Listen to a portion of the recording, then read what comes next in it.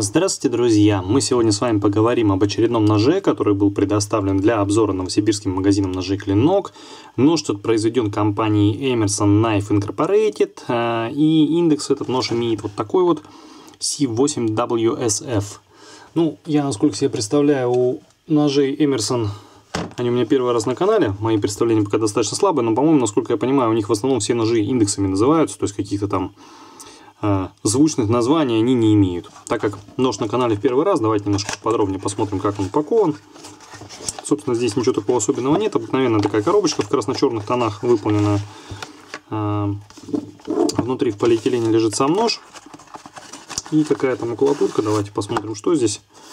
Ну, собственно говоря, такая вот пафосная штука с адресом. Почти открытка Номер один Hard Use Knife in the World. Вот так вот пишут про ножи Эмерсон, по крайней мере сам производитель. А, здесь есть предупреждение о том, что нож там экстремально остро заточен. Вот, внутри какая-то сделана анкетка, фотография себя любимого. Я, насколько понимаю, это, собственно, Эмерсон. Регистрационная карточка вот такая, которую можно отправить. А, и, собственно, Эрнест Р. Эмерсон. Торренс, Калифорния. Вот. Ну, э, я честно скажу, что я в историю самого Эрнеста Эмерсона не вдавался. Мне, насколько известно, он какой-то специалист по единоборствам. Вот, и разрабатывает ножи вот с таким вот как бы уклоном, ну, что ли, в самооборону или в боевой какой-то вот такой ножевой бой практически. Лежит вот тут такая наклеечка Emerson Knives. Вот, ну, что такая симпатичная, наверное, для тех, кто вообще любит наклейки. Я уж не знаю, просто, видимо, из возраста вышел. Не, не понимаю, куда это можно клеить, но, короче говоря, наклейка есть. Вот, есть наклейка, есть регистрационная карточка. Больше здесь, собственно, кроме самого ножа, мы ничего не увидим. Давайте перейдем к самому ножу. Ну, сегодня мы так обзор построен по моей обычной схеме. Расскажу сначала про сам нож поподробнее, потом про свои впечатления.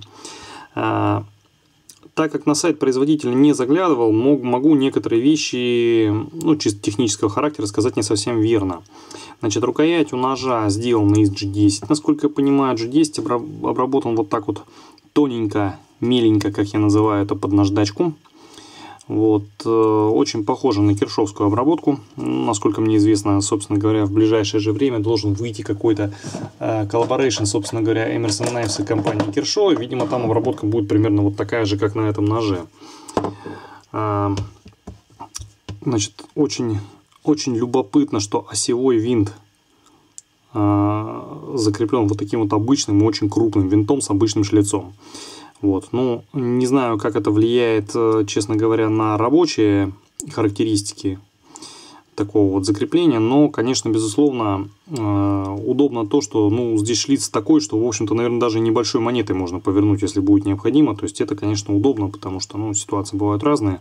Не всегда под рукой есть отвертки, уж тем более с торксами. Ну, так скажем, наверное, есть в этом какая-то своя логика. То есть тоже хочу обратить внимание, что нож собран здесь на обычных винтах, которые можно крутить крестовой отверткой. По мне так это плюс. То есть мне лично так вот кажется. Два винта есть основных. Вот такой вот сделан спейсер. Вот. Э, ну, отверстие для паракорда такое, что паракорд можно продернуть ну, с некоторым трудом, мне кажется. То есть продернуть можно, но будет не совсем удобно. Э, клипса сделана не переставляемая, по крайней мере отверстий каких-то дополнительных э, у этой клипсы нет.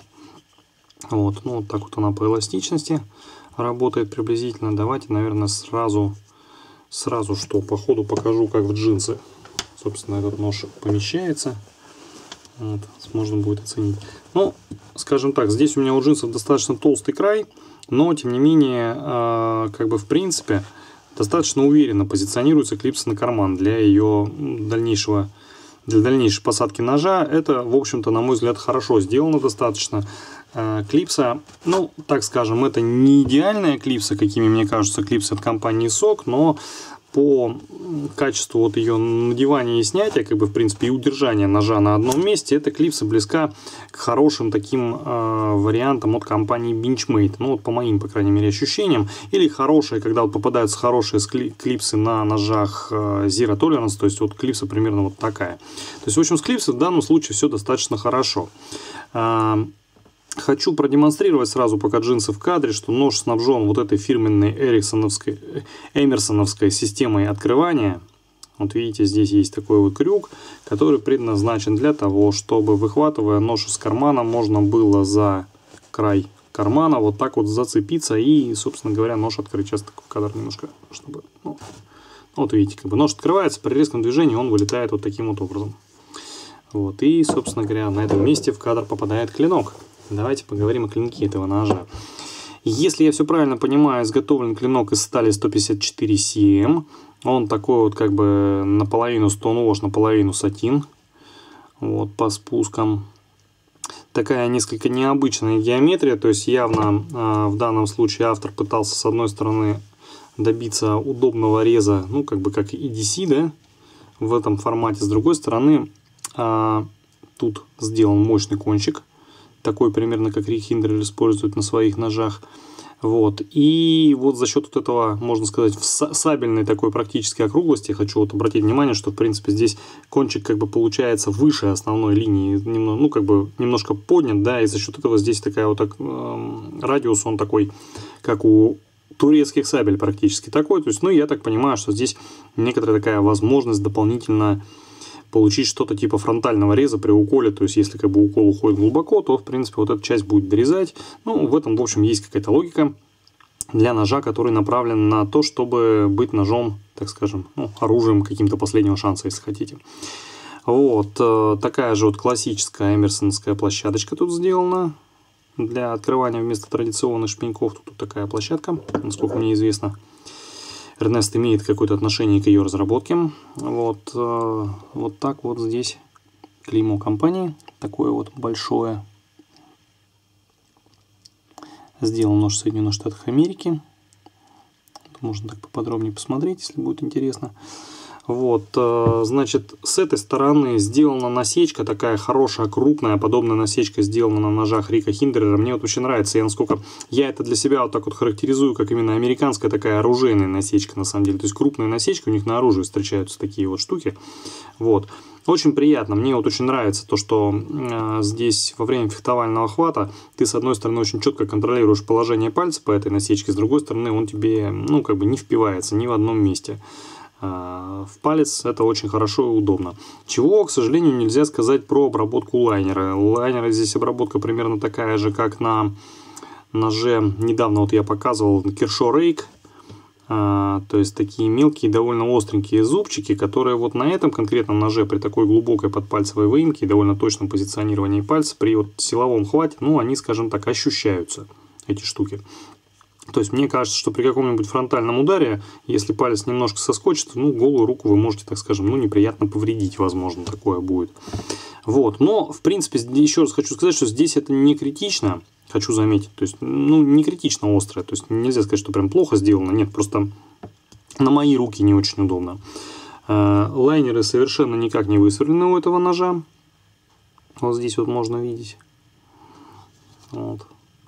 то есть прям совсем никак. Вот. Ну и из-за этого, собственно говоря, мы с вами можем говорить о довольно высоком весе. Вот такая штука.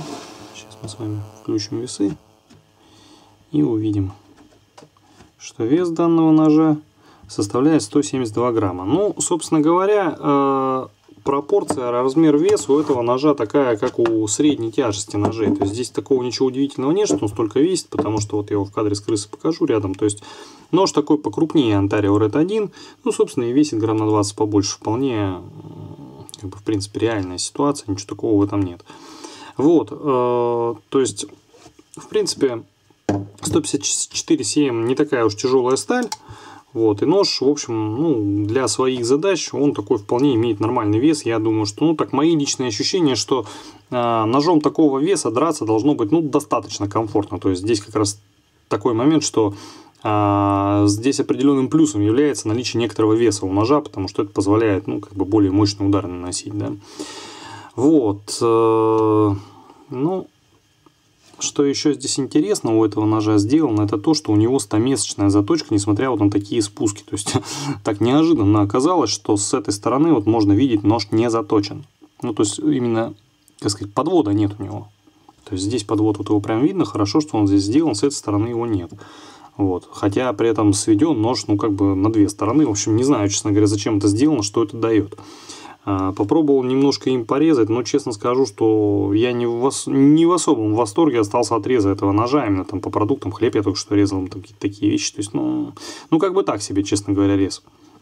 Вот. Ну, давайте, собственно говоря, немножко о моих личных впечатлениях. Личные мои впечатления такие. Если совсем коротко, нож довольно дорогой, обладает э, рядом особенностей, которые ну, позволяют его позиционировать как нож для самообороны или как нож для ножевого боя. Что лично для меня это скорее не нужно, да, такое качество. Вот. Но мне лично так представляется, что то, как эти особенности реализованы, не должно приводить к такой цене ножа. Ну, скажем так, это такое первое замечание, потому что, ну, знаете, я, конечно, понимаю, что вот есть у вас вот эта открывашка за карман, да, пользуетесь вы или нет, это ваше дело, конечно, да, но есть серьезный вопрос. Но это вот не может так сильно удорожать нож из достаточно обычной стали 154 cm, при том, что ну, какая-то вот такая обработка ножа, все так сделано довольно грубовато. Неплохо, а именно грубовато. То есть видно, что она не стоит больших денег, подобная обработка ножа и подобный дизайн его вообще в принципе.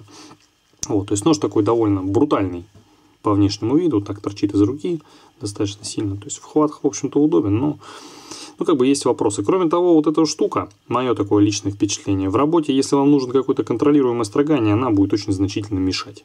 То есть придется строгать вот так как-то. Ну, или вот так его держать, бы строгать. То есть вот это контролируемое ну, положение, оно не очень-то работает.